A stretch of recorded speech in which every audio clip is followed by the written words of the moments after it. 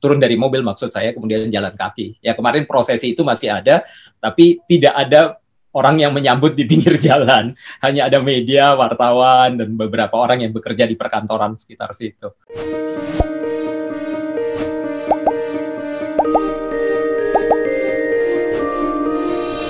Oke, okay. wah ini lama gue nunggu. Jadi ini ada bro gue.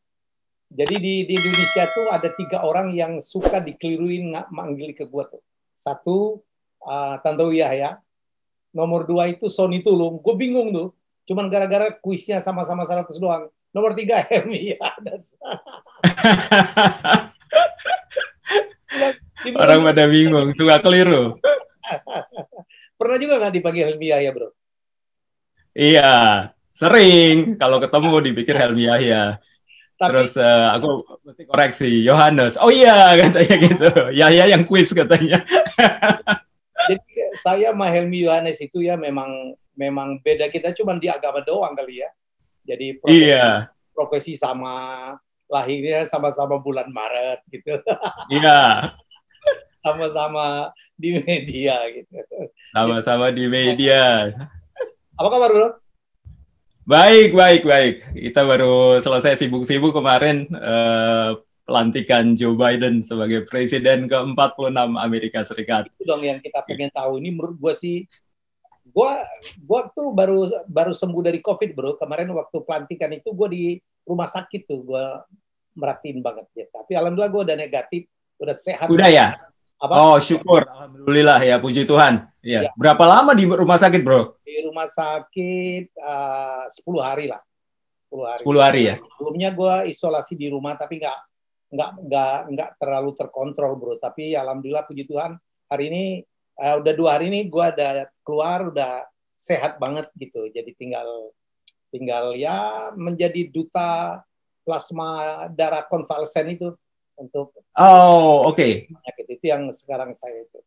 Jadi nyumbang nyumbang darah uh, plasma buat uh, teman-teman uh, yang kena ya. Oke. Okay. Bro, rasanya gimana sih, Bro? Aku pengen tahu uh, gejala pertamanya gimana waktu waktu terasa bahwa uh, mungkin ini bisa kena COVID terus tes. Suhu naik gitu. Yang lain tuh gua wah fisik gua kuat banget gitu ya. Jadi napas nggak sesak. Jadi gua gua tuh gue tuh ditegur oleh Tuhan bro. Mungkin terlalu capek. Ya kemarin gue libur dan habis dan itu kan uh, setelah dari luar kota kan? Ya karena gue bro kan pergi libur ya waktu itu ya? Uh, ke Bali ya? Uh, nyetir ya waktu itu ya? Gue nyetir tuh lima keluarga gue nyetir. Gitu. mungkin ketemu banyak orang gitu. Fun sebenarnya ya. Anak-anak kan gue masih ingat tuh. Tahun lalu kan gue masih liburan itu kan selalu keluar negeri. Tahun lalu kan gue masih di New York yang ketemu lo di Iya, tahun lalu, tahun lalu. Ya, ya. Nah, tahun lalu kan benar. Di Maryland kita ketemu waktu itu ya. Di Virginia, di Virginia. Kan Bro datang dari New York ya sama Nara. Ya, terus uh, kita ketemu di Tyson's Corner tuh. Ya, uh, mall-mall di Virginia. Ya, ya. ya, liburan tahun lalu. Nah, cuman tahun ini karena karena Covid jadi liburannya ke Bali darat pula ya nyetir ya nyetir seneng banget. Anak-anak suka banget ya. Jadi anak-anak kan kemarin kan agak luar negeri main dit ya. Kemarin gua ajak ke Magelang gua ajak ke Batu ngajak Banyuwangi keren bro. Ngajak wow iya. Aku denger tuh ya. Fun fun. Mungkin gua bukan cuman taruh capek ketemu banyak orang. Kan gua banyak murid ya. Mereka minta ketemu gua di jalan-jalan orang ngajak foto minta diturunin masker. Barangkali kenanya di situ aja. Tapi alhamdulillah uh, satu rombongan itu nggak ada yang kena. Nah anak gue nyusul bro, si Rahel itu akhirnya kena juga. Dia bareng-bareng sama gue di rumah sakit. Jadi kita waktu Joe Biden pelantikan dengan drama. Masih di rumah sakit? Apa? Di waktu sakit. Joe Biden pelantikan masih di rumah sakit. Jadi ini baru ya, baru keluar ya? Aduh. Syukur, alhamdulillah puji Tuhan. Iya, terima kasih juga. Uh, gue yang diundang pertama nih jadi tamu setelah selesai sakit. Tapi bersyukur banget ya. Jadi uh, cerita dulu, pulang dari liburan, waktu liburan itu belum terasa ya? Nggak, nggak terasa sama sekali. Oke. Okay. Wah, gue nyetir gila bro, 140, 160 gitu. Wah, keren. Iya. Berempat itu jauh banget kan itu juga sampai Bali pulang pergi ya jadinya. Oh, pan, pan, pan, pan banget, pan banget. Kata, ya, nah terus pulangnya gimana ceritanya? Pertama bisa terasa panas doang ya? Kita sepakat begitu pulang kita harus semua swab ya. Jadi kita begitu swab, begitu begitu gua di swab itu antigen, waduh positif. Akhirnya gue pastiin dengan PCR, yaitu tanggal 4 Januari itu. Ya, 4 Januari begitu di PCR ya positif. Ya sudah bro, jadi gue cek paru-paru aman semua ya. Jadi disarankan, wah ini gue gue berusaha melawan tuh ya. Jadi CT gue itu udah udah rendah ya. CT itu ada ukuran untuk untuk yang level virusnya itu itu. Nah seminggu gue di rumah itu gue PCR lagi masih positif dan gue akhirnya memutuskan masuk ke rumah sakit biar di treatmentnya bagus. Tinggal berapa ya waktu itu? Tinggal 13 CT gue. Gitu. Jadi kan harusnya berapa CT? 30 lebih gitu ya. 30 lebih ya? Ya ya. Hmm. Tapi alhamdulillah banget hari ini gue sehat banget, udah mulai beraktiviti gitu. Walaupun Ya, syukur, syukur. Alhamdulillah. Puji Tuhan banget nih. Makanya take care. Tapi di di Amerika itu COVID-nya menggila juga ya, Bro? Tinggi sekali, mengerikan sekali. Jadi kalau ini baru semalam ya, yang aku dengar berita paling akhir itu kan sedang ada varian baru yang dari Inggris. Ya? Inggris. Ya? Dan okay. itu jauh lebih menular. Hmm. Penularannya itu jauh lebih gampang dan itu sekarang kalau di Amerika tadi malam uh, ini sekarang tanggal 23 ya kita uh, tapingnya ini tadi malam itu sudah di 21 negara bagian masuk di Amerika ya. Wow, nah, Inggris itu. Dia pada awal-awal minggu lalu ketika dikatakan masih masuk di tiga atau empat negara bagian di Amerika itu dibilang bahwa meskipun ini penularannya memang jauh lebih mudah menular, hmm. tapi uh, tingkat mematikannya sama seperti COVID yang biasa. Okay. Nah, tapi kan kemarin Perdana Menteri Inggris bilang bahwa data-data terakhir mereka melihat bahwa ternyata tingkat mematikannya jauh lebih tinggi juga. Nah, jadi ini yang sedang diteliti oleh para dokter kalau di Amerika. Jadi takutnya penularannya ini juga bisa jauh lebih tinggi, bukan hanya penularan, tapi tingkat kematian yang diakibatkan oleh penularan itu juga bisa lebih tinggi. Jadi memang mesti waspada sekali ya. Jadi kalau di Amerika kan ini kan sudah berapa udah 411 ribu yang meninggal ya eh, gara-gara COVID ini. Juta. Tinggi sekali ya. Hmm. Ah, memang nggak ada kebijaksanaan orang luar nggak boleh masuk ke Indonesia sekarang kan bule-bule atau orang asing kan belum boleh masuk. Uh, belum boleh ya. Jadi di Amerika ada beberapa kali kan uh, larangan. Dari awal kan ketika masih zaman Presiden Trump itu sekitar bulan Maret atau akhir Februari ya kalau saya nggak salah ingat itu sudah diterapkan mulainya awalnya karena dari Wuhan jadi larangan masuk terhadap uh, pengunjung dari uh, Tiongkok ya. Okay. Tapi setelah itu kan Eropa juga tutup kan. Nah waktu Eropa tutup kemudian Amerika juga memperlakukan yang pengunjung dari Eropa nggak boleh. Hmm. Kemudian dari segala macam negara yang lain. Tapi kemudian hmm. uh, sempat agak longgar. Tapi sekarang tinggi lagi, jadi uh, ketat lagi ya. Setahu saya ketat lagi. Jadi kalau wisatawan itu belum boleh, tapi kalau misalnya kayak pejabat pemerintah atau diplomat yang memang ada tugasnya, ya memang boleh. Orang Indonesia belum boleh masuk ya, bro? Nah itu aku uh, kurang jelas karena ada beberapa kalau kalau resminya wisatawan tidak boleh masuk kan. Memang wisatawan dari dari luar negeri dari negara mana pun, ter, terutama dari Eropa yang aku tahu. Tapi kan ada beberapa teman yang berkunjung. Jadi saya lihat di Instagram ada beberapa dari Indonesia itu berkunjung ke San Francisco. Ini juga ada yang berkunjung ke Los Angeles.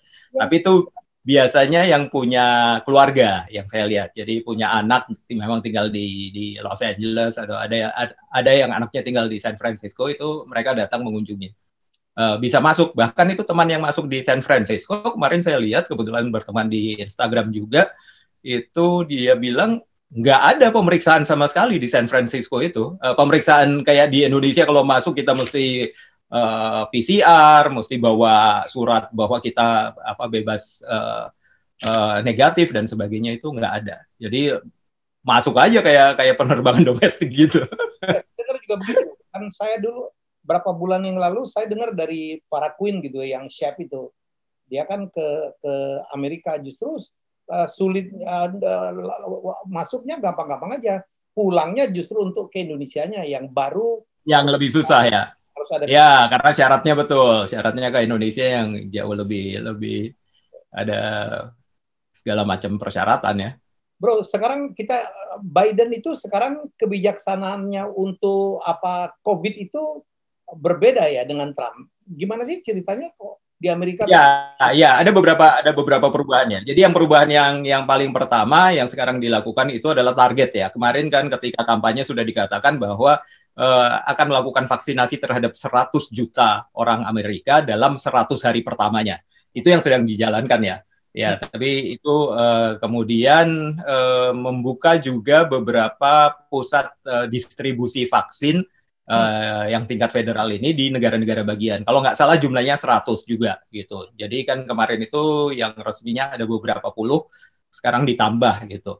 Kemudian uh, menggandeng swasta itu sebenarnya sudah dilakukan juga dari uh, apa zaman pemerintahan Trump. Jadi ada beberapa yang dilanjutkan, tapi ada beberapa yang baru.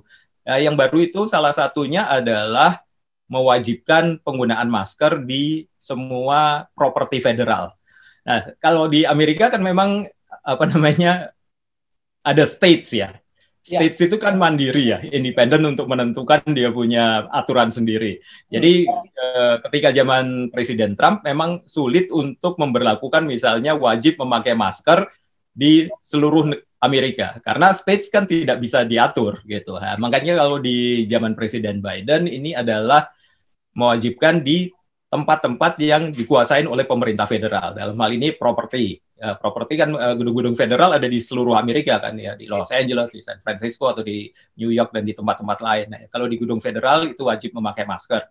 Kemudian juga wajib memakai masker di transportasi. Jadi misalnya di itu bisa diatur secara federal kan, naik pesawat atau naik bis atau naik kereta, yang bisa diatur secara federal itu dilakukan. Tapi selebihnya memang uh, tergantung states-nya ya, karena kan kita lihat kan ada juga beberapa states, misalnya county, county itu kan uh, kabupaten ya kalau di Amerika itu membuat aturan sendiri, misalnya dia tidak perlu mewajibkan orang di luar uh, pakai masker, tapi kalau di dalam masuk ke fasilitas umum, misalnya toko atau itu baru wajib. Kan ada yang begitu. Tapi ada yang mewajibkan misalnya di luar pun tetap harus gitu. Meskipun outdoor tetap harus pakai masker. Nah itu memang uh, beragam ya aturannya ya kalau negara federal kan gitu uh, bro Indonesia tuh jauh lebih enak lah sekarang ya dikontrol oleh pemerintah pusat kita ketat banget sekarang ngatur apa protokol COVID-19 protokolnya diatur benar-benar ya di di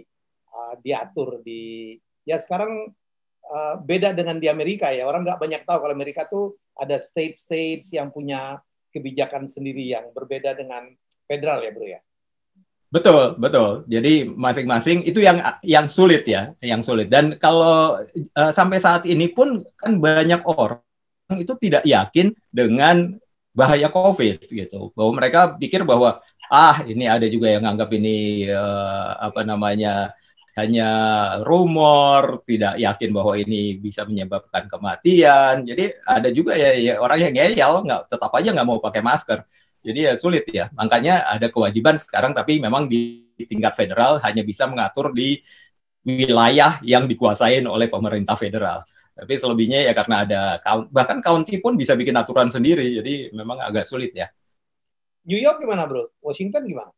Uh, New York, Washington agak parah juga ya. Kalau kemarin ini waktu naik, kita kemarin kan tiba-tiba akhir pertengahan Desember ya. ya. Nggak, nggak. Uh, menjelang Natal itu karena naik sekali, misalnya di Washington yang sebelumnya kita sudah boleh makan di dalam, misalnya ke restoran, indoor, meskipun masih dibatasi kapasitasnya gitu, ada yang 25 persen, ada yang membatasi 50 persen, uh, customer yang masuk itu di di nggak boleh indoor jadi nggak boleh hanya boleh makan outdoor. Nah kebetulan kan eh, istriku kan ulang tahun kemarin tuh kita mau makan udah udah udah booking sebelum aturan itu ada gitu. Terus tadi waktu aturannya itu ada ya udah. Ya tetap aja. Outdoor kita outdoor. Dijabanin tuh kan dingin banget tuh meskipun outdoor. Meskipun ada apa ada heater kecil-kecil itu kan tapi tetap aja lu masih pakai jaket tinggi ya namanya juga mau mau makan di luar buat uh, ulang tahun istriku jadi kita jabanin aja. Salju udah turun bro? Di sini uh, cuman sekali dan kecil ya di DC Ini oh. minggu ini katanya mau ada lagi. Uh, ah, minggu depan, minggu depan. Dalam dua tiga hari ini ada, tapi aku nggak tahu seberapa besar. Dua kali katanya. Uh, ramalan cuaca bilangnya gitu. Bro, Rindu juga sih kalau ngelihat ada salju yang gede-gede gitu. Gitu ya. iya. Kita salju nggak terlalu banyak waktu kita ke Amerika ya. Benar, benar. Ya, tahun lalu nggak terlalu banyak. Tahun ini juga baru sekali di DC area dan cuman kecil juga. Jadi Natalan di mana kemarin bro? Di rumah? Di rumah, di rumah. Ya itu yang membedakan sekarang Natalannya kali ini kan nggak bisa. Ya semuanya virtual lah kalau zaman begini. Tapi tapi ini berkah ya aku bilang. Jadi di ada hikmah gini. Hmm. Pandemi ini membuat sesuatu yang juga menurutku sangat beda ya. Gitu. ya.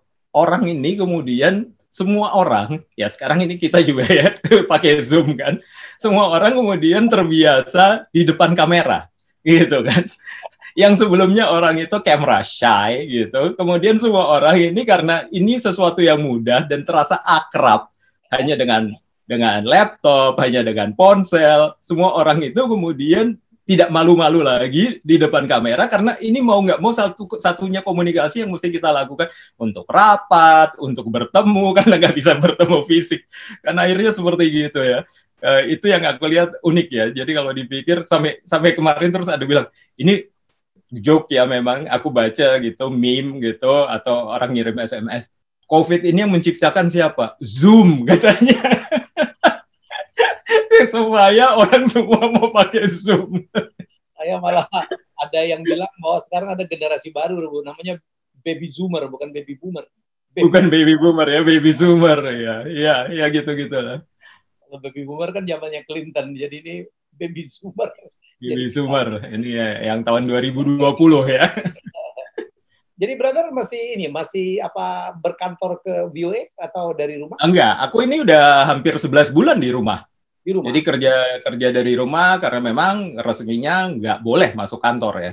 Ada beberapa yang boleh uh, masuk itu adalah kita kan ada layanan bahasa ya di di uh, eh, VOA ya, Bro. Jadi kita kan ada sekarang mungkin 45 46 bahasa ya. ya. Uh, sempat sempat 50-an sekarang sekitar 46 bahasa. Okay. Itu uh, ada du, tiga dua atau tiga bahasa yang yang uh, masih beroperasi dari kantor hmm. karena mereka siarannya lebih intens ya. Jadi dia siarannya harus intens dan harus pakai studio dan harus live. Nah itu misalnya yang sehari dia ada live mesti dua tiga kali ke ke negara-negaranya itu dia mau nggak mau mesti masuk. Tapi kalau kita bisa semuanya diproduksi dari rumah karena lebih banyak ke taping dan kalau live pun uh, bukan rutin ya. Jadi ya. seperti ya ada occasion, ada kemarin ada inaugurasi, kita bisa live reports, bisa dari luar, bisa dari rumah Ya, kemarin itu mungkin kita melakukan ya belasan puluhan live reports itu sebagian dari luar dari lapangan maksudku bukan di dalam kantor ya. Dari jalan dari sekitar Washington DC kemudian didukung sebagian dari rumah. Ya aku dukung dari rumah. Jabatan jabatan Helmi Yohanes itu di VOA apa sih bro? Aku eksekutif produser ya. Jadi eksekutif produser televisi itu membawai produksi televisi VOA Indonesian Service jadi seksi Indonesia dari VOA itu ada tiga bidang ya. Hmm. Karena dari awal kan dulu kalau kita tahu VOA itu kan radio. Ya. Radio awalnya kemudian sampai di, di tahun 2000 uh, eh, mulai merambah ke televisi. Hmm. Jadi aku baru join VOA itu tahun 2005. 2005. Jadi tahun 2005 setelah dari Metro TV. Kebetulan VOA lagi cari uh, pimpinan yang bisa uh, apa memimpin tim televisinya ya sudahlah uh, kebetulan anakku juga bilang nih pengen anakku baru lima tahun waktu itu tapi dia udah bisa bilang dia pengen sekolah di luar negeri. Wah ini Kesempatan. mungkin Tuhan yang buka jalan ya memang. Ya jadi Tuhan buka jalan kasih akhirnya aku gabung di situ 2005 aku masuk bulan Mei seminggu sebelum anakku Lea ulang tahun. Uh, ya udah hampir 16 tahun nih bentar lagi nggak terasa time flies. Time flies ya Uh, iya. sorry, sorry, aku sambung lagi. Jadi tadi uh, kalau VOA ada TV, ada radio, ada televisi, ada digital sekarang kita. Okay. Digital itu membawa media sosial, ya kita punya YouTube, kita punya Instagram, Facebook, Twitter dan sebagainya. Jadi uh, lebih banyak juga bergerak di situ. Jadi semua video-video kita yang dari televisi itu juga disiarkan di uh, YouTube, ditaruh di YouTube dan juga yang radio juga kita taruh. Kita juga punya website. Jadi ya masif ya, masif. Sesuai teman, perkembangan zaman lah. Teman Indonesia yang di VOA siapa aja? Ada Nova ya, Nova. Ada Nova Purwadi, ada uh, Persi Widakuswara, hmm. ada ada beberapa sih. Uh, sekarang yang memimpin uh, Asia Timur ini, jadi jadi agak unik ya. Ada beberapa teman saya di sini yang dulu ada Nadia Majid. Nadia Majid itu putri dari uh, uh, Cak Nur ya, ya Nurkolis Majid. Itu dulu barengan sama saya. Kemudian dia menjadi pimpinan dari Indonesian Service Nah, sekarang dia menjadi pimpinan dari uh, Asia Timur dan Pasifik. Jadi divisi Asia Timur dan Pasifik di VOA. Jadi uh, lumayan tinggi itu uh, apanya uh, pangkatnya untuk seorang uh, direktur di VOA yang adalah asal Indonesia. Jadi kita bangga sekali ada orang Indonesia menjadi pimpinan di VOA. Dan pimpinan VOA Indonesia sekarang juga orang Indonesia, uh, Ade Astuti itu pimpinan saya juga sekarang. Dulu uh, sama sama dengan saya juga gitu. Ba masuknya barengan tahun 2005. Jadi ada beberapa, terus ada beberapa juga di, uh, jadi paling nggak ada tiga orang Indonesia menjadi pimpinan di di di, di VOA. Kalau Naratama itu apa bro? Naratama produser dan uh, senior produser kita dan uh, director kita, tapi lokasinya di New York. New York. Jadi uh, ya untuk New York itu Nara yang uh, pegang uh, produksinya ya dan uh, Nara itu pimpinan untuk memproduksi bagian pop culture kita. Jadi kalau mau cerita sedikit uh, di di televisi tim televisi itu kita produksi ada news, ada berita, kemudian ada juga feature, kemudian ada juga pop culture. Okay. Nah, pop culture uh, yang pegang Naratama, tapi kemudian di base-nya di New York karena New York kan lebih banyak ya berita mengenai pop culture, lebih banyak kalau misalnya artis-artis atau orang uh, apa posohor Indonesia kalau datang datangnya itu bukan ke Washington DC, datangnya ke New York lah. Bro juga datangnya ke New York kan. Ke DC juga mesti mesti kalau ada alasan bahwa pengen ke DC baru ke DC tapi kalau enggak misalnya ya udahlah New York biasanya atau Los Angeles ya. DC ya. Keren ya. Teratur banget ya. Bro, ah, cerita dong, kemarin itu ah, dramanya luar biasa ya. Ah, nggak pernah kejadian inaugurasi seorang presiden Amerika demikian mencekam gara-gara apa yang dilakukan Trump, ada ada unsur kemungkinan teroris segala macam. Cerita dong, Bro. Apa sih yang terjadi? Iya. Uh, kalau itu yang terjadi kemarin uh, pada tanggal 6 Januari, jadi uh, Trump ini kan dari awal tidak mau menerima bahwa ia menang, uh, ia kalah di pemilu atau pilpres uh, bulan November ya, gitu. Hmm. Jadi kemudian mengajukan gugatan hukum, uh, di sejumlah negara bagian, di tujuh ya kalau nggak salah atau enam atau tujuh negara bagian dan semuanya itu kan uh, di tingkat pengadilannya baik di tingkat pengadilan di county, kemudian di state, bahkan kemudian uh, naik beberapa kasusnya dinaikkan ke Mahkamah Agung, semuanya ini kan tidak terbukti di pengadilan gitu. Jadi tuduhan misalnya bahwa pemilu ini dicuri atau ada kecurangan itu semua kan tidak terjadi gitu. Tapi eh, sampai saat ini kan dia tidak pernah mau pensit ya namanya, tidak mau mengakui ke kekalahan. Nah, eh, ada tingkatan kan di mana hasil pilpres itu harus disertifikasi. Jadi disahkan di tingkat states, kemudian uh, di tingkat nasional, federal dalam hal ini di tingkat federal di uh, Kongres gitu. Nah, waktu di Kongres pun juga ketika melakukan sertifikasi itu kan uh, pada saat itu tanggal 6 itu 6 Januari harusnya Kongres melakukan sertifikasi pengesahan dia malah ngundang pengikutnya untuk datang. Dan itu memang banyak ya mungkin ada orang bilang puluhan ribu ada yang bilang ratusan ribu ada yang bilang juta tapi kayaknya ya nggak sampai lah jutaan. Uh, jumlah yang tepat kita nggak tahu tapi dia berpidato di depan White House gitu. Nah, ketika selesai berpidato, memang salah satu eh, itu mengatakan bahwa mereka akan jalan ke gedung Kongres. Ya, mungkin tidak semua orang berpikir bahwa akan terjadi eh, apa pendobrakan atau upaya untuk masuk ke gedung Kongres yang saat itu sedang melakukan ini melakukan uh, sidang untuk melakukan pengesahan dari hasil pilpres. Hmm.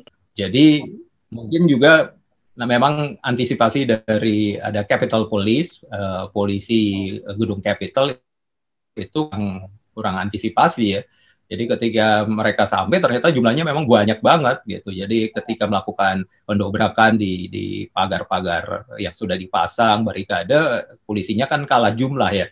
Hmm. Otomatis lah kalau kalah jumlah ya akhirnya mereka bisa masuk. Jadi setelah bisa masuk melakukan pendudukan uh, sampai akhirnya dipanggil Garda Nasional itu sore harinya ya. Karena itu dari siang ya sekitar jam 2 siang. Hmm. Sore harinya baru dipanggil Garda Nasional uh, Garda Nasional masuk itu baru mereka bisa dikeluarkan. Tapi sudah sempat masuk dan melakukan peributan dan ada or, uh, seorang perempuan yang ikut protes juga ditembak sehingga meninggal di situ. Ada empat yang lainnya yang yang juga katanya mengalami emergency. Kita nggak tahu emergensinya kenapa, tapi akhirnya meninggal juga. Kemudian ada anggota polisi yang meninggal ya, yang dari Capital Police ada satu, kemudian satu lagi meninggal karena bunuh diri gitu. Jadi ada lima orang yang meninggal. Hmm, hmm. Memang memang uh, tragedi ya. Tapi setelah itu itu yang menyebabkan kemudian uh, Kongres dalam hal ini DPR. Kalau di Amerika kan Kongres ini terdiri dari DPR hmm. dan Senat. Nah, DPR ini kemudian mengajukan pemakzulan. Ini pemakzulan yang kedua. Jadi di impeach lagi. Waktu itu kan udah di impeach dan kemudian uh, ternyata tidak terbukti jadi bebas. Sekarang di impeach lagi dengan alasan melakukan penghasutan pemberontakan.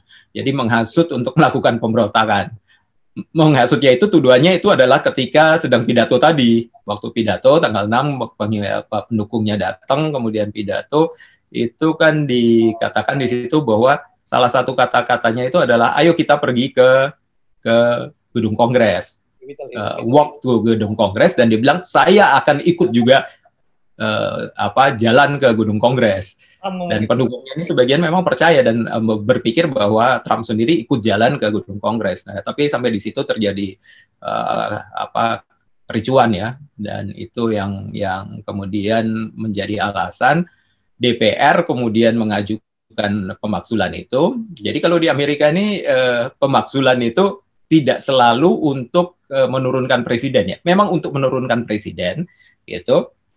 Tapi maksud saya prosesnya ketika disebut pemaksulan dimaksulkan kalau di Indonesia kata-kata dimaksulkan itu adalah diturunkan dari jabatan presiden. Di hmm. Amerika bukan. Jadi dimaksulkan itu adalah proses di mana dilakukan penuntutan Nah, jadi DPR ini sifatnya adalah seperti jaksa kalau dalam proses pemaksulan. Jadi mereka membuat pasal pemaksulan. Jadi kalau pasal pemaksulan ini kan berarti ayat-ayat untuk mencharge ya, menuntut kenapa orang ini harus dimaksulkan. Nah, setelah ada pasal pemaksulan ini, mereka yang akan menunjuk orang-orang yang menjadi kayak jaksanya untuk mengajukan kasus ini ke pengadilan. Dalam hal ini pengadilannya adalah Senat. Nah, jadi Senat ini yang nanti akan melakukan uh, trial ya, impeachment trial dalam hal ini adalah sidang pemaksulannya. Itu kemarin ini hari apa Sabtu. Jadi Jumat kemarin, Jumat uh, malam tanggal 22 itu ketua DPR Amerika Nancy Pelosi itu baru mengirimkan uh, baru berencana akan mengirimkan hari Senin esok. Jadi hari Senin nanti ini 23 akan 24 25 uh, 25 ya 25 hari Senin itu baru akan diajukan pasal pemakzulan itu ke Senat Amerika. Nah, orang pasti bertanya kan, ya. lah ini Trumpnya kan udah tanggal 20 kemarin udah serah terima, udah turun, udah bukan presiden, kok masih bisa disidang di pemakzulan? Juga gitu ya, jadi gitu ya bro ya. Kan bingung juga kita kan, udah gak jadi presiden kok masih di impeach gitu, jadi itu ya. Jadi bukan. Nah, nah ini, ya uniknya itu, kenapa masih bisa diimpeach setelah tidak jadi presiden? Ya. Gini, jadi dia dia nanti hari Senin mengajukan pasal pemaksulan, jadi uh, istilahnya tuntutan ini diajukan ke Senat kan, hmm. yang akan melakukan trial, yang akan melakukan uh, pengadilan. Nah si Senat ini hanya punya waktu satu hari kalau nggak salah, setelah diberikan pada tanggal jam satu keesokan harinya itu sudah harus memutuskan bahwa melakukan trial. Nah, tapi dikatakan bahwa oh bisa, jadi nanti hari Senin diajukan, kemudian pada hari Selasanya nanti Senat memutuskan untuk menunjuk uh, kayak pengadilannya. Karena kan nanti DPR-nya menunjukkan jaksa-jaksanya yang untuk mengajukan kasus ini kan. Nah, setelah menunjuk kayak hakim-hakimnya ini, kemudian prosesnya ditunda. Ditunda dua minggu, nanti baru akan mulai pada tanggal 8 atau 9 Februari, sidang untuk pemaksulan. Kenapa uh, Senat menunda itu? Karena Senat ini sekarang lagi sibuk untuk ini melakukan konfirmasi, jadi melakukan konfirmasi terhadap calon-calon kabinet yang diajukan oleh uh, Joe Biden. Jadi Presiden Joe Biden kan sudah punya sejumlah calon untuk uh, menteri-menterinya ya. Kalau di Amerika itu calon-calon menteri itu harus kayak di fit and proper testnya oleh Senat, sidang uh, konfirmasi uh, sebutannya. Nah ini kan mereka masih sibuk banyak banget kan anggota kabinet dan kemarin baru lolos dua, jadi masih butuh waktu. Kalau mereka masih mesti pecah konsentrasi dengan melakukan impeachment trial atau sidang uh, sidang ini agak agak sulit ya. Nanti malah mundur-mundur kan kabinetnya. Jadi itu yang sedang uh, terjadi prosesnya, bro. Tapi balik ke belakang lucu juga ya, bro ya. Kita Indonesia juga kan selesai pilpres, di mana sempat juga seperti terbelah dua gitu ya, uh, yang ke 01, 02. Tapi kan kita tuh kan pikir Amerika tuh kan orangnya tuh sangat sangat teratur gitu ya, sangat demokratis. Kalau melihat kemarin norak juga ya orang Amerika dalam menyikapin uh, pemilihan presiden ini, bro, sampai terjadi uh, pendudukan kapital segala macam ya. Mungkin bedanya kalau di di Amerika ini lebih ideologis ya. Hmm. Jadi kan uh, kalau Partai Republik dan Partai Demokrat itu kan perbedaannya kan uh, konservatif melawan liberal kan. Jadi yang satu menganut ideologi liberal, yang satu menganut uh, ideologi uh, yang lebih konservatif, gitu kan. Jadi biasanya memang sulit untuk ketemu ya. Jadi memang untuk menyatukan itu harus ada hal-hal yang demi kepentingan bersama baru bisa bertemu di tengah-tengahnya. Tapi selebihnya kan eh, apa namanya agak sulit ya. Misalnya uh, yang satu uh, misalnya namanya di di bidang aborsi misalnya di ya. bidang aborsi yang satu kan pro life yang satunya pro choice hmm. gitu yang pro life ini adalah uh, kenapa menentang aborsi karena life ini jiwa kehidupan kita nggak boleh membunuh meskipun itu masih dalam bentuk janin tapi kalau yang pro choice itu kan memberi pilihan kepada perempuan untuk menentukan sendiri gitu. Aku mau keep anakku atau aku tidak mau, aku mau menggugurkan anakku. Nah, oh. ini kan udah perbedaannya ideologis ya. Nah, yang yang menarik itu kan kita kaget-kaget tuh, Bro. Jangan melihat berita gitu, konfrontasi antara apa pendukung Biden sama pendukung Trump sampai fisik gitu. Di Indonesia tuh enggak segitunya ya.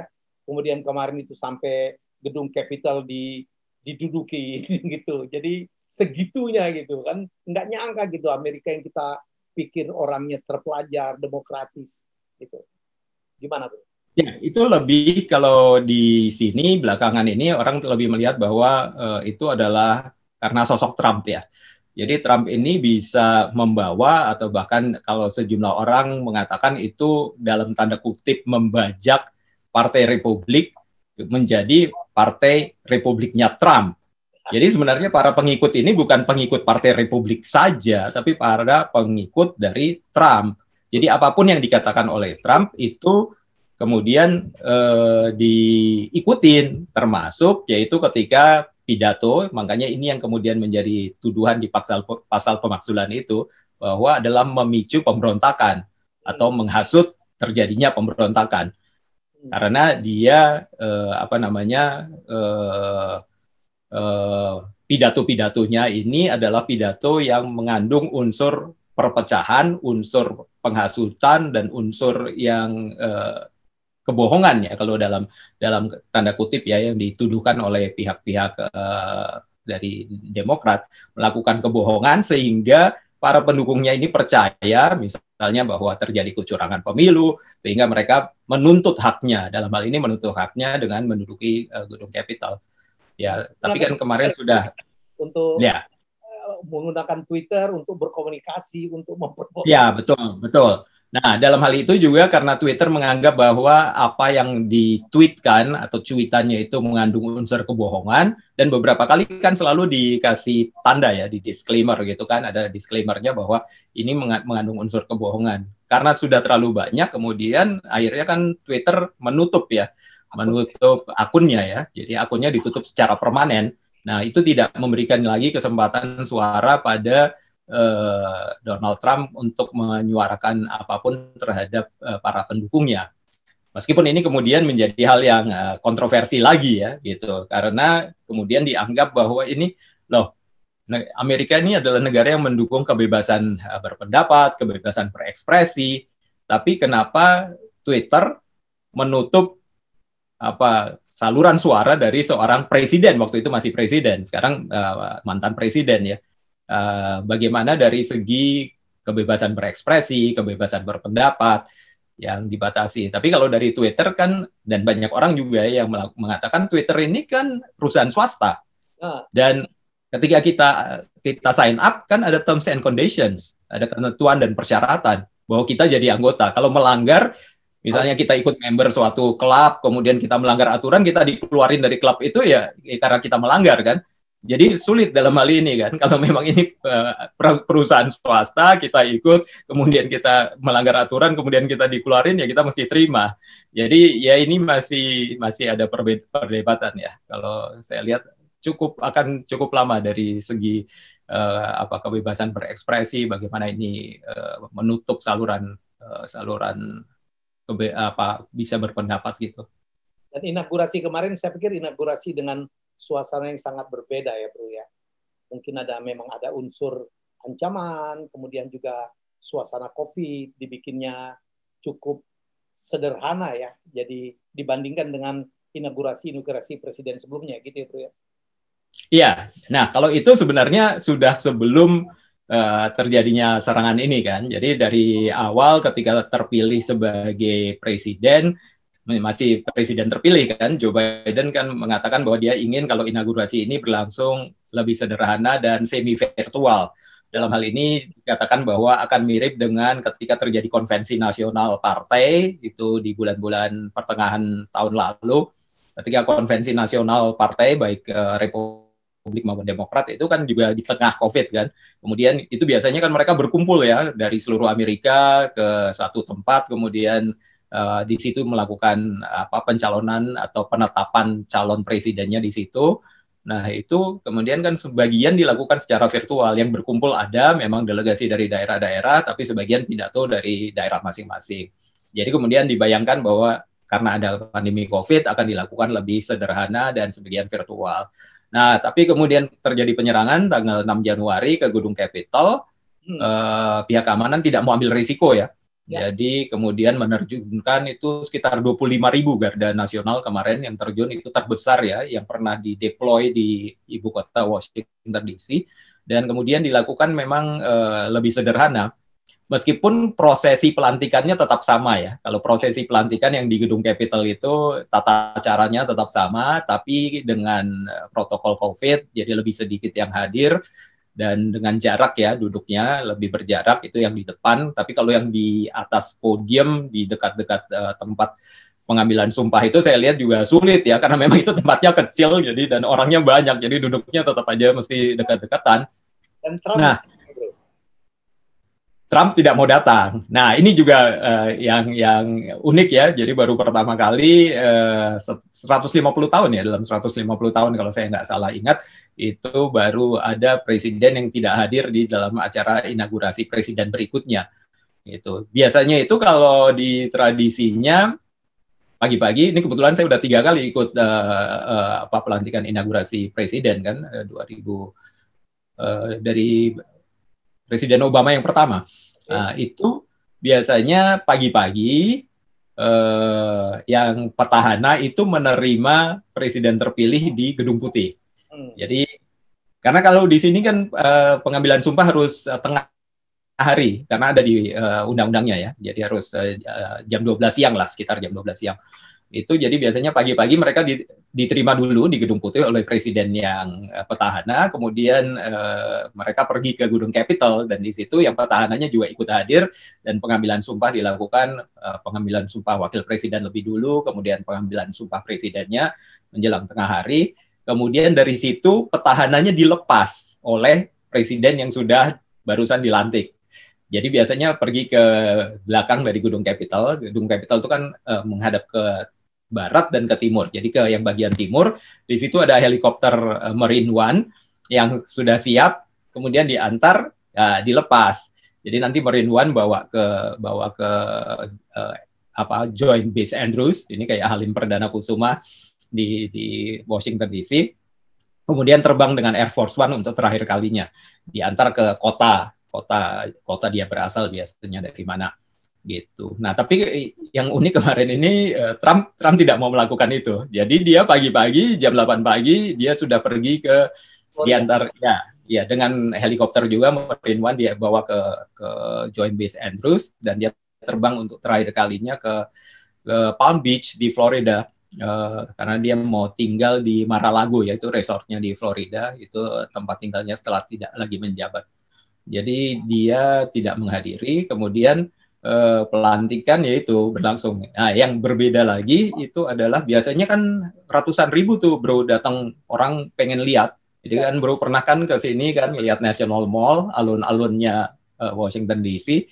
Itu biasanya kan ada ratusan ribu, bahkan waktu zaman pelantikan Obama yang pertama itu tercatat hingga 1,8 juta orang memenuhi National Mall itu untuk menyaksikan secara langsung pelantikan di gedung Kongres. Itu ramai sekali. Nah, kemarin ini karena tidak mau ambil risiko ada pendukung Trump, kemudian terjadi lagi penyerangan, ada yang bawa senjata dan sebagainya, itu dibarikade semua, bro. Jadi pinggiran uh, dari The National Mall dan sebagian bahkan empat jembatan yang masuk ke Washington DC itu di di blokade ditutup jadi nggak bisa orang mondar mandir hanya tamu yang memang bisa datang eh, katanya sekitar hanya seribu orang ya itu yang datang tapi yang ratusan ribu ya kita menyaksikannya dari rumah yang berbeda juga biasanya ada parade bro jadi setelah selesai pelantikan biasanya ada luncheon di di gedung Capitol setelah itu ada parade, jadi diaraklah si presiden yang sudah terpilih dari gedung Capitol ke gedung Putih. Itu kan jaraknya agak lumayan jauh lewat Pennsylvania Avenue. Nah itu juga kali ini di, di, di, ya, ditiadakan, tapi dibikin juga hanya pendek.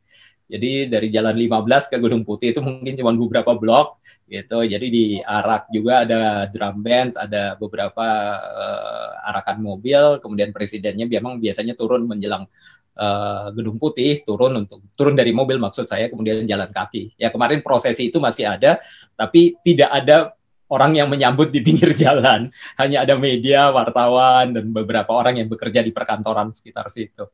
Jadi jauh-jauh lebih sederhana. Jadi selebihnya yang parade itu kemudian divirtualkan, orang ikut nonton dari televisi. Dan yang, Jadi, yang, menarik itu ada pembacaan puisi yang ada cewek kulit hitam. Ya, ada anak yang ya membacakan puisi. Ya itu termasuk di prosesi hmm. yang eh, apa di pelantikan ya. Memang kalau di pelantikan kan biasanya ada gitu, ada doa, kemudian ada nyanyi lagu kebangsaan, ada sumbangan lagu, ada puisi. Nah kemarin ini dilakukan kemarin kan uh, Lady Gaga ya yang nyanyi lagu kebangsaan, kemudian J Lo menyumbang lagu, juga uh, siapa lagi kemarin? Ya, jadi kalau prosesi itu tetap dilakukan sih. Oke, okay, bro, kita balik nih. Orang kan nggak banyak tahu nih. Helmi Janes lahirin Jogja ya, bro? Ya? Aku lahir di Jogja. Aku lahir di Jogja. Jadi aku lahir besar di Jogja. Kalau bisa dibilang uh, orang Jogja asli. Meskipun orang tua saya bukan dari Jogja. Orang tua saya itu dari Pulau Rote. Pulau Rote itu di Nusa Tenggara Timur. Uh, Bro Helmi ini juga pernah ke Pulau Rote. Saya tahu waktu zaman masih direktur TVRI ya. Iya, iya. Dengan Pak Jokowi. Dengan Pak Jokowi kan ke sana. Dan Bro wawancara Pak Jokowi ya. Aku itu malah baru sekali, aku baru satu kali ke ke Pulau Rote. Itu pun aku udah mahasiswa ya waktu itu tahun 82 baru aku ke Pulau Rote dan itu cuma sekali dan belum pernah datang lagi. Kemarin gimana bro waktu ngelihat Pulau Rote itu? Wah keren banget. Ya kita saya baru tahu bahwa itu buat tempat surfing ya. Indah banget ceweknya cantik-cantik dan yang mengagetkan saya di Pulau Rote itu, Rote itu menghasilkan banyak sekali tokoh-tokoh nasional, termasuk orang tuanya, ayahnya Pak apa Bro, Bro Helmi Johannes ya. Jadi ya. saya tahu ada Adrianus Moy ya, beberapa nama. Ya. Franseda juga dari sana ya Bro ya. Franseda dari uh, Flores uh, di NTT juga sih. Ya, ya. Tapi kalau dari Pulau Rote ya ada Adrianus Moi, ada ayahanda saya Herman Yohanes, ada WZ Yohanes gitu. WZ Yohanes itu sepupu dari uh, ayah saya ahli ronsen pertama di di Indonesia. Kebetulan ayah saya dan uh, Prof WZ Yohanes dua-duanya menjadi pahlawan nasional ya, diangkat jadi pahlawan nasional. Kalau ayah saya baru diangkat jadi pahlawan nasional itu tahun 2009 itu ya. jadi pada zaman Pak SBY. Profesor Herman Johannes, ya betul ya? Ya betul, ya betul. Pendiri ya. pendiri UGM ya bro ya? Salah satu ya, salah satu pendiri UGM. Meskipun kalau pendidikannya uh, ayah saya itu sebenarnya uh, di THS Teknise Hogeschool. Itu di Bandung uh, sekolahnya Bung Karno dan sebagainya yang menjadi cikal bakal ITB Nah, cuman waktu zaman itu eh, apa namanya ITB kan Jepang masuk ya, kemudian eh, terhenti. Karena Teknise Hogeschool itu kan di bawah Belanda gitu. Jadi waktu tahun 42 itu proses pembelajarannya berhenti, kemudian diungsikan ke Jogja menjadi Sekolah Tinggi Teknik namanya, STT di Jogja. Nah, itu diteruskan oleh sebagian termasuk ayah saya, orang-orang uh, Indonesia ya, meneruskan itu gitu. Karena waktu itu kan masih zaman kolonial Hindia Belanda ya. Saya hmm. katakan orang Indonesia karena maksudnya pribumi orang Indonesia meneruskan teknik High School yang pindah ke Jogja menjadi sekolah tinggi teknik. Nah, sekolah tinggi teknik ini kemudian menjadi cikal bakal dari Fakultas Teknik UGM jadi kemudian ketika sudah merdeka tahun 49 itu berdiri Universitas Gajah Mada di Yogyakarta salah satunya dengan uh, cikal bakal STT tadi menjadi Fakultas Teknik UGM. Jadi gitu ceritanya. Kemudian uh, yang menjadi rektor pertama UGM itu Prof Sarjito. Hmm. Itu dokter, kemudian ayah saya menjadi rektor kedua dari tahun 61 sampai 66. Luar biasa. Dan apa Helmi pun juga alumni dari UGM ya? UGM, ya. Nah ini kalau banyak orang juga yang nggak ngerti ini. Asik. Gitu dipikir kalau saya terjun di dunia jurnalistik itu mungkin saya uh, dari jurusan komunikasi dan sebagainya. Padahal saya arsitek, uh, bro. Jadi saya lulusan teknik arsitektur UGM gitu. Kalau bilang boleh uh, kakak kelas saya tuh Mas Budi Karya Sumadi misalnya itu kakak kelas di UGM sekarang Menteri Perhubungan itu juga banyak yang nggak tahu dipikir di dunia perhubungan tapi itu uh, arsitek ya dan arsitek UGM ya cuman saya ketika mahasiswa gitu kemudian hobi-hobi aja dulu kan zaman kita breaker ya uh, bro ya. Masih zaman radio Citizens Band, uh, radio antar penduduk, kemudian orari, amatir radio, saya ikut juga gitu. Jadi memang hobinya ngobrol lewat radio ya, zaman zaman zaman itu ya, masih mulai zaman SMA sampai zaman zaman mahasiswa gitu. Kemudian uh, saya gabung dengan Radio Jeronimo di Jogja gitu, karena juga hobi ya komunikasi. Saya pikir kalau kita komunikasi amatir aja, kita coba deh komunikasi agak profesional masuk ke radio. jadi kemudian saya jadi. Nah, kenapa? Kenapa, Bro? Anton Isudibio ya, Jeronimo ya, radionya ya. Iya, iya, iya, ya. Anton Isudibio ya, ya keluarganya Anton Isudibio uh, Jeronimo. Kemudian dari sana uh, saya jadi host uh, tangga lagu sih. Jadi tangga lagu Amerika kebetulan zaman itu saya udah dengerin VOA ya. Jadi suka denger banyak uh, sumber dari uh, eh, VOA, terutama sumber musiknya gitu. Hmm. Karena mereka juga punya tanggal lagu. Nah itu eh, bahan-bahan dari situ kita bikin sebagai tanggal lagu Amerika di uh, Jeronimo. Namanya Formuda, Formasi Musik Dunia. Kemudian setelah itu sekitar Desember 89 ada saya lihat ada iklan di Kompas. RCTI baru buka cari reporter gitu. Terus aku lihat, aduh aku pikir coba-coba deh.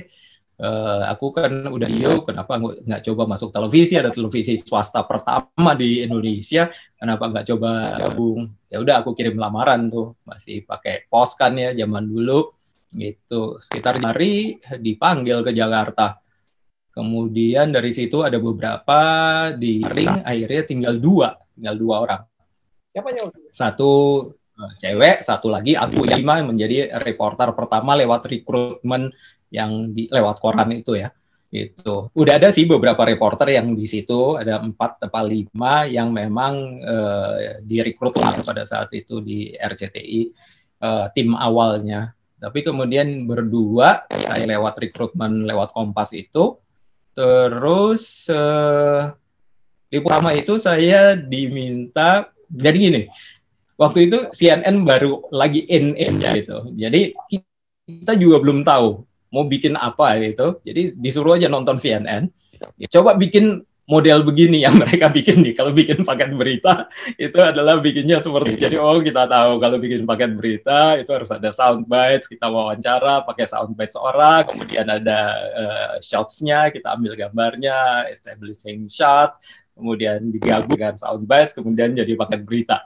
Learning by doing ya dari ngelihat oh kita tahu oh cara bikinnya. Terus karena ada rekrutmen ada kameramen yang udah senior senior kameramen film dan sebagainya. Itu kita bersama dengan itu melakukan. Nah tugas pertama saya itu eh ke Melati. Waktu itu kebun Melati itu di belakang Hotel Indonesia belum ada apa-apa ya waktu itu ya. Itu masih perkampungan ya pada saat itu gitu. Itu mau digusur untuk dijadikan uh, apa gedung-gedung ya di situ pada saat itu. Ini modelnya kayak gentrifikasi juga sih. Kalau menurut Koi ya saya turun ke lapangan. Kemudian yang teman perempuan itu juga diterjunkan ke salah satu kalau wilayah kriminal gitulah melakukan itu. Nah mungkin dua tiga hari ya perempuan atau seminggu lah paling lama seminggu uh, resign gitu karena merasa nggak kuat Kemudian yang bablas ya cuman saya dari dari rekrutmen yang pertama itu. Tapi waktu itu udah ada teman di RCTI reporter-reporter yang satu angkatan yang sudah uh, bekerja di situ. Ada Anggit Hernowo, ada Edi Putradewa, ada Asifi Narni, ada Ida Parwati dan beberapa lagi ya. Mungkin saya nggak ingat sebutkan. Jadi itu yang kita menjadi cikal bakal dan motornya belum seputar Indonesia bro, masih seputar Jakarta karena RCTI masih on airnya lewat di jadi hanya bisa diterima orang yang langganan pakai decoder. Nah, ini di Jakarta aja kan, makanya seputar Jakarta. Pada pertengahan 90-an baru kita ubah menjadi seputar Indonesia setelah kita siaran lewat Palapa, Bro. Hmm. Jadi lewat Palapa, lewat satelit bisa hmm. diterima di seluruh Indonesia itu baru kita ganti jadi seputar Indonesia. Meskipun waktu itu belum ada stasiun relay ya di daerah-daerah karena baru ada kita buka RCTI Bandung waktu itu. Jadi di Bandung kita bikin RCTI untuk produksi acara Jawa Barat eh, sebagian sebagian lagi dari Jakarta. Jadi gitu hanya bro awalnya. Dan memenangkan Panasonic Award yang menang sebenarnya bukan saya, yang menang adalah seputar Indonesia yang menang. Kalau saya beberapa kali masuk nominasi sebagai presenter terbaik ya, sebagai uh, news anchor terbaik itu beberapa kali nominasi, tapi beberapa kali yang terpilih itu bukan saya pernah Desi Anwar, pernah juara yang terpilih, tapi uh, bukan saya. Adolf juga pernah kalau nggak salah Adolf Kusuma, tapi seputarnya beberapa kali memenangkan uh, apa namanya Panasonic Award dan saya yang ke depan nerima ya mewakili seputar Indonesia.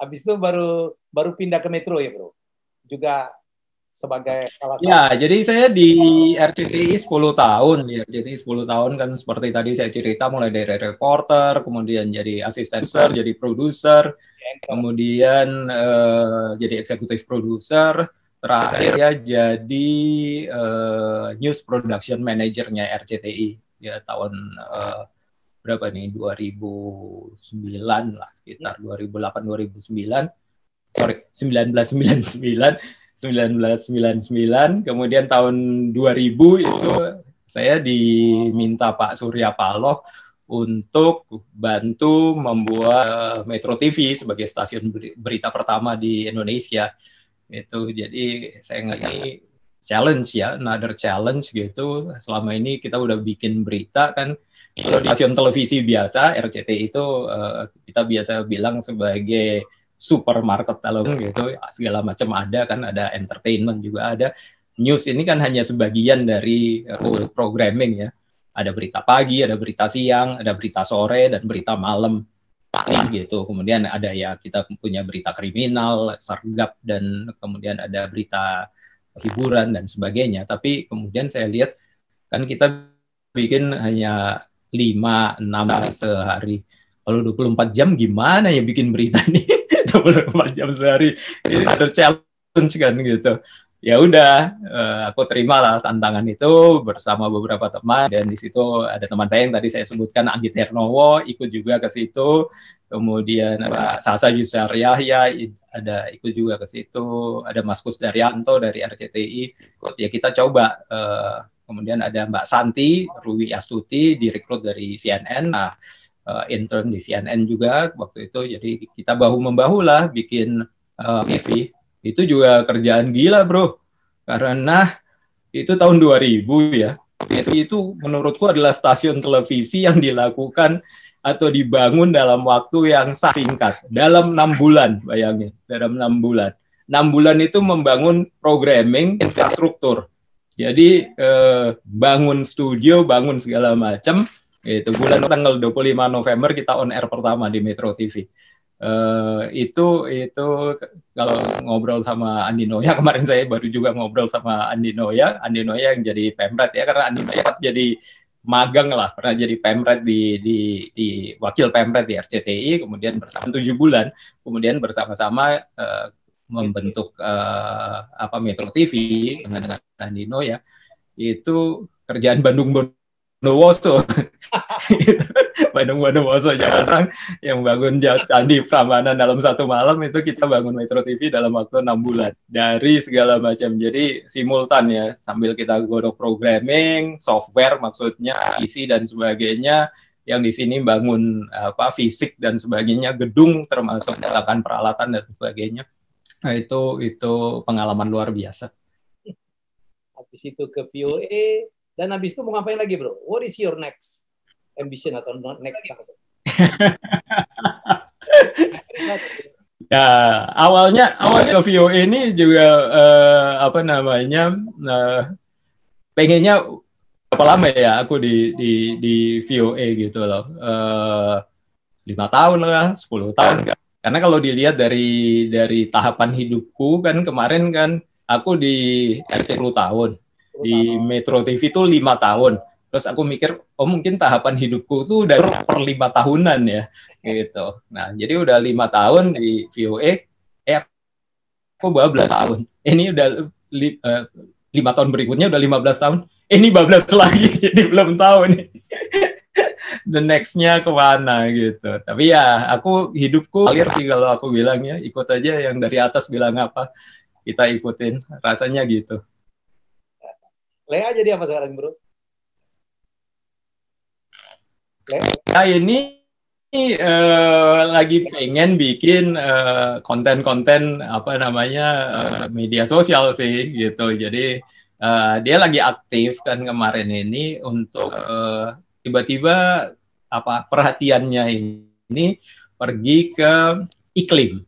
Jadi dia ikut uh, tim iklim ada kursus iklim untuk dari uh, kelompoknya El Gore. El Gore ini kan seperti kita ketahui wakil uh, ya wakil presiden Amerika yang terjun di uh, ini ya perubahan iklim kan. Nah, jadi dia menjadi salah satu climate leaders gitu leaders. Nah dia lagi bikin seri uh, IG live Instagram live judulnya cakap iklim gitu. Cakap iklim ini artinya bercakap-cakap tapi sekaligus mengeduket orang mengenai perubahan iklim dan bagaimana kita bisa menyumbangkan untuk mencegah terjadinya perubahan iklim atau mencegah terjadinya pemanasan global dan sebagainya. Ya, yang dari hal-hal yang sampel ya kita hindarin plastik dan sebagainya.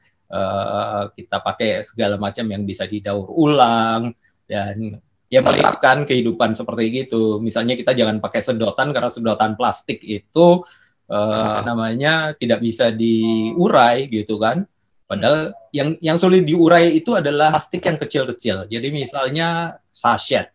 Sachet itu kan, misalnya sachet sampo, itu yang kalau terbuang itu sangat sulit untuk diurai gitu. Jadi itu sebaiknya kan menggunakan bisa daur ulang. Saya lihat di Indonesia memang juga sekarang kan lagi lagi gencar ya beberapa juga sudah menerapkan uh, tidak boleh kantong plastik misalnya. Atau sudah ada perusahaan yang membuat kantong plastik dari uh, bisa diurai kan itu dari uh, apa rumput laut ya kalau nggak salah. Gitu. Oke. Okay. Putus bro. Ya, sinyal. Ganti baterai bentar. Oke. Okay. Udah mau closing juga kita. Cukup panjang gitu. Keren? Oke. Okay. Oke, okay, apa Bro Helmi Jones, terima kasih untuk apa ngobrolnya yang sangat panjang. Semoga nih banyak sekali memberikan. Uh, benar-benar. Ya, sorry Bro, aku aku sambung biar agak nyambung dikit yang yang dari soal plastik tadi ya. Oke, okay, silakan. Go ahead, go ahead. Ya. Ya, kalau kalau kita lihat kan di Indonesia juga sudah banyak ya sekarang yang namanya soal plastik itu dilarang ya. Misalnya di pemerintah daerah, beberapa pemerintah kota itu juga melarang penggunaan kantong plastik ya. Jadi atau misalnya kalau kita mau plastik mesti bayar gitu kalau di toko misalnya gitu kan. Itu kan langkah yang bagus untuk mencegah apa adanya sampah dan sekarang membawa kantong sendiri gitu. Disarankan kalau kita mau belanja bawa kantong kain dari rumah kemudian kita belanja pakai kantong kain. Nah, jadi si Lea ini memang dia lagi lagi gencar untuk melakukan itu dan dia dia bikin seri tadi klaim tadi yang aku bilang uh, Instagram Live. Yang pertama dia serinya dia wawancara siapa? Prof Emil Salim. Nah, Prof Emil Salim ini adalah uh, mantan Menteri uh, Lingkungan Indonesia kan, lingkungan hidup ya Indonesia. Sudah usianya 92 tahun, tapi masih sangat sharp gitu dan masih punya pemikiran yang bisa menyumbang untuk perbaikan lingkungan hidup di Indonesia. Jadi kemarin itu unik di Instagram dia ini Instagram live-nya Lea sebagai generasi Gen Z ya, generasi di bawahnya milenial gitu, mewawancara seorang yang sudah sangat senior gitu umur 92 tahun memberikan apa memberikan pandangannya via wawasannya. Dan ternyata nyambung.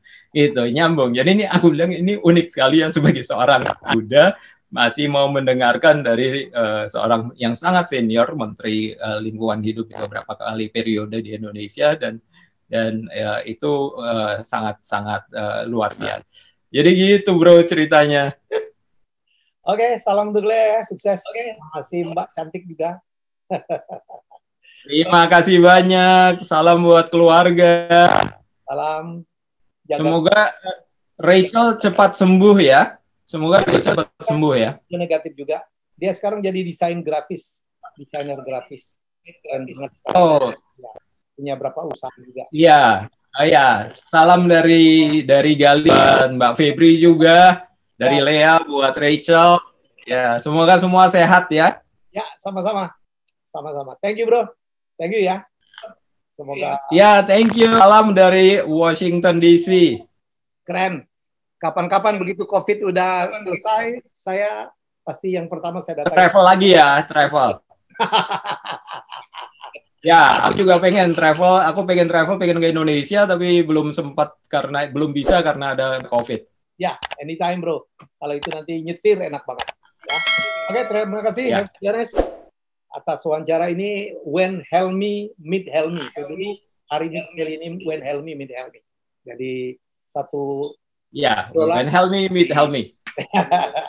yang sangat uh, bermanfaat. Terima kasih ya, bro. Oke, okay, bye-bye.